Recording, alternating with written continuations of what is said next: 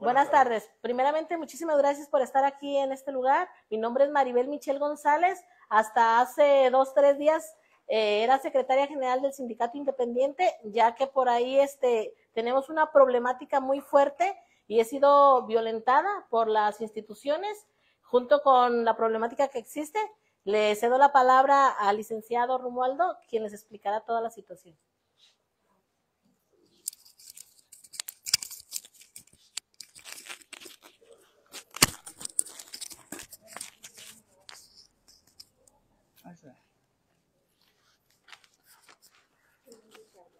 Buenas tardes, eh, mi nombre es Romualdo García.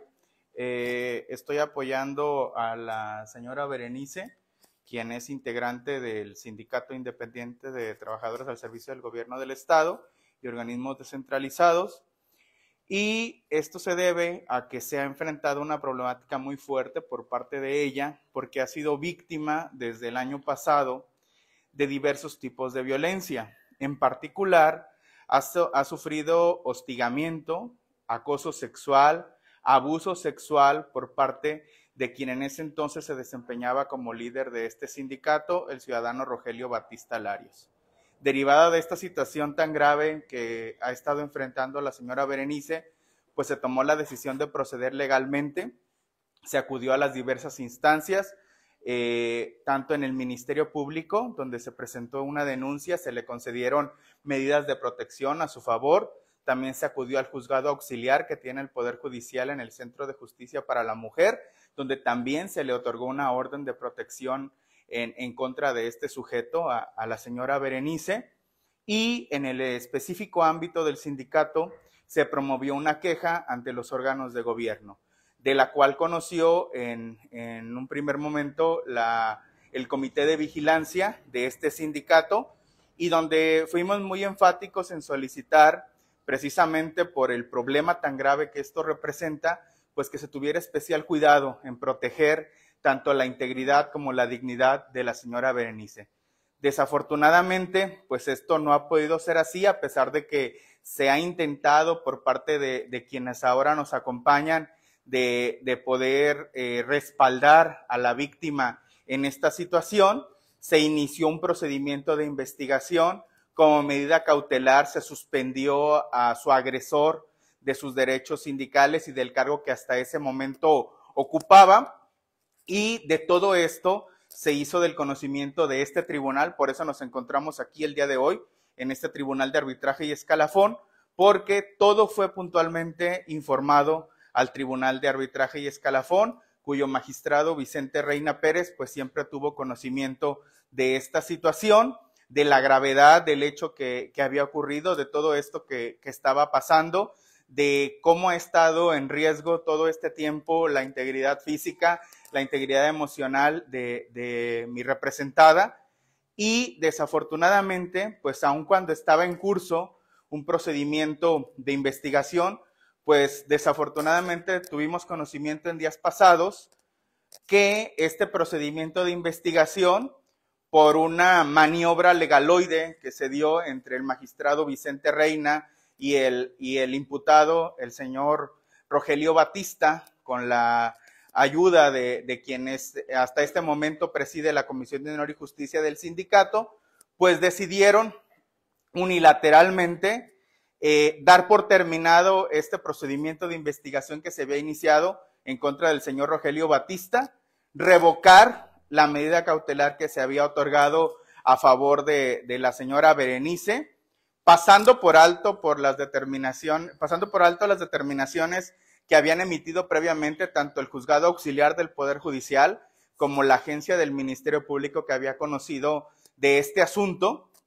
y pues por un acuerdo entre ellos que nos resulta pues bastante sospechoso, bastante grave que hayan procedido de esta manera. El magistrado Vicente Reina determina pues que todo eso no tiene ningún efecto y que él, por así decidirlo y así establecerlo en, este expediente del cual ahora tenemos copia para, para poder seguir defendiendo eh, los derechos de la señora Berenice, pues él determina que no, que nada de esto valió y que ahora pues la, señora Berenice queda expuesta a seguir sufriendo las agresiones el acoso, los abusos de carácter sexual, todo este hostigamiento del cual ha sido víctima por parte de este, de este señor. Nos parece muy lamentable, nos parece muy grave, eh, más porque en esta maniobra en todo momento el magistrado Vicente Reina ha contado con, con la complicidad, con la colaboración del subsecretario de, Administración de este gobierno estatal, a quien en todo momento se le ha informado de, esta situación y nunca ha querido tomar cartas en el asunto. Han estado apoyando por debajo del agua a este señor y pues ahora ahí tenemos el resultado, que él sin mayor problema pues está regresando a ocupar este cargo de dirigente sindical, desde el cual podrá seguir violentando los derechos tanto de la señora Berenice como ya vemos que también de, de quien hasta ese momento se desempeñaba como secretaria general del, del sindicato independiente. Eh, hacemos un llamado particularmente a, a las autoridades estatales, a, al Instituto Colimense de las Mujeres, a la propia gobernadora constitucional del Estado, a las instancias de procuración y administración de justicia, de que pasemos más allá de las palabras a los hechos y que si está, si está más que acreditado, porque así se ha demostrado tanto en la carpeta de investigación que se abrió en el Ministerio Público como en, en el expediente del juzgado, que la señora Berenice fue víctima de estos delitos cometidos por parte de este sujeto, pues que se proceda, que se pase de las palabras a los hechos. Vimos en días recientes cómo eh, se, se, ha tenido mano dura con casos similares en, en, situaciones como esta. Vimos que en la universidad eh, se denunciaron estas conductas que, que, agravian la dignidad de las mujeres y el rector procedió y, y puso el ejemplo de cómo se debe actuar en este tipo de situaciones. Vimos también como un, un maestro reincidente en, en, agraviar los derechos de, de, las alumnas a quienes, a quienes estuvo atacando eh, también con hechos de carácter sexual, ha sido este, suspendido de su cargo. Y pues sí nos lastima bastante que en este caso, pues al contrario, la señora Berenice, en lugar de ser protegida, en lugar de ser garantizados sus derechos, pues ha sido revictimizada por este sujeto una y otra vez, eh, tanto al interior del sindicato como al exterior, y lo ha hecho pues con la anuencia de, de estos altos funcionarios. Eh, pedimos que, que, puedan terminar estas, estas conductas que en lugar de hacer patente pues el compromiso que se tiene con los derechos de las mujeres, pues demuestran precisamente lo contrario y han resultado pues en que la, la víctima en lugar de sentirse respaldada, pues se sienta más afectada todavía, se sienta muy, muy intranquila con la incertidumbre, pues de que su agresor no solamente ha dejado de estar suspendido, sino que ahora regresa al cargo que tenía y pues lo hace con todo el respaldo de las instituciones del Estado, principalmente pues de este tribunal eh, que, que es presidido por el magistrado Vicente Reina y del subsecretario de Administración el señor Torrero, pues que también en todo momento ha estado apoyando lo, lo que este señor ha hecho. Prueba de ello, pues en, diversas ocasiones que por parte de la señora Berenice se le ha solicitado el, el apoyo a su dirigente, a la licenciada Maribel, pues se han girado oficios a diversas instituciones y desafortunadamente pues no, no se tuvo respuesta, no se tuvo nunca ese, ese respaldo, esa colaboración que hiciera patente pues que se están protegiendo en Colima los derechos de, de una mujer. Al contrario, todo este, todo este tiempo esas autoridades han sido omisas, han preferido voltear hacia otro lado y han preferido, desafortunadamente, pues respaldar al agresor en lugar de estar protegiendo a la víctima. Es, esto sería todo de mi parte. Nada más no quisiera, quisiera ver si abundaría sobre el tema de estos oficios que se giraron a las autoridades que se hicieron. Claro que sí, en su momento enviamos oficios a lo que sería el subsecretario A Pablo Matambú por ser de personal, al DIF estatal Colima, que es la fuente del trabajo de, del compañero Rogelio Batista Lario, donde se les informó que su comisión había terminado y tenía que regresar a su fuente laboral, hecho que no le requirieron las autoridades y que han sido omisas y sigue él sin presentarse a trabajar, sin que exista nada ni nadie que lo ponga a trabajar al compañero. Eh, la situación es que no solo han violentado a la compañera, sino han violentado a todas las mujeres del sindicato, porque todas nos sentimos ofendidas, porque no sé si por el hecho de ser mujer el subsecretario, este Pablo Matambú y lo que vendría siendo el DIF estatal, nos han tratado como, digamos, no sé si con desprecio o un poquito como así, pero a Rogelio Batista Lario le han dado todo, todo, todo el respaldo, aun cuando yo tenía en su momento lo que vendría siendo la Secretaría General del Sindicato Independiente. ¿Es todo? ¿Va a hablar compañera del Comité de Vigilancia? Ella es el Comité de Vigilancia, Ana Cristina Navarro Castro. Eh, por el momento ya es todo, ¿verdad? Agradecemos el que hayan asistido aquí a nuestro llamado. Eh, lo único que estamos nosotros queriendo es respaldar a la compañera. en su momento le dijimos a Rogelio Batista Larios que era un proceso de investigación, que tenía que acatar este, los estatutos, los reglamentos, y aún así él está necio con el compadrazgo y todo el respaldo de las autoridades y sigue laborando y sigue violentando eh, lo que vendría siendo a la compañera y a las mujeres de nuestro sindicato. Nos tiene fuera del sindicato, en su momento aún siendo secretaria general, él entró al sindicato, cambió chapas, este, nos, nos acusó de, ¿cómo se llama? Vendría siendo despojo.